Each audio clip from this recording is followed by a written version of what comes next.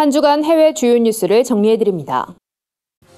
영국의 한 초등학교에서 6살 아동에게 게이 러브레터를 쓰게 해 논란이 일고 있습니다.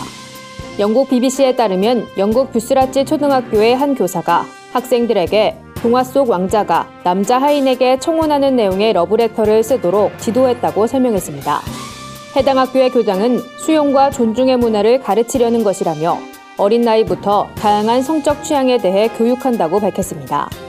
하지만 일각에선 이 교육이 잘못됐다는 비판이 이어지고 있습니다.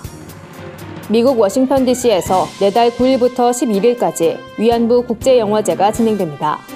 위안부 피해 할머니들의 명예를 회복하고 전쟁 중 성폭력과 피해자들의 아픔을 영화제를 통해 알려 교훈으로 삼겠다는 취지입니다.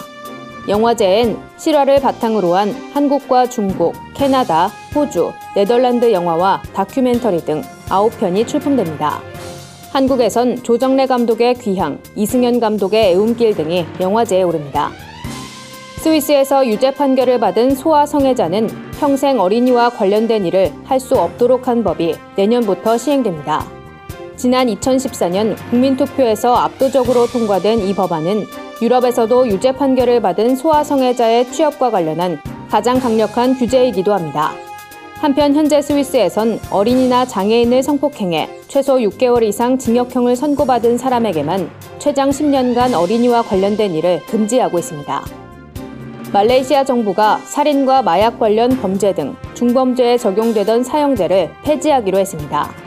말레이시아 리우 부익형 총리부 장관은 사형제 폐지를 위한 배정 작업이 마무리 단계라며 다만 사형을 기다리던 죄수들을 어떻게 처벌할 것인지가 남은 쟁점이라고 설명했습니다.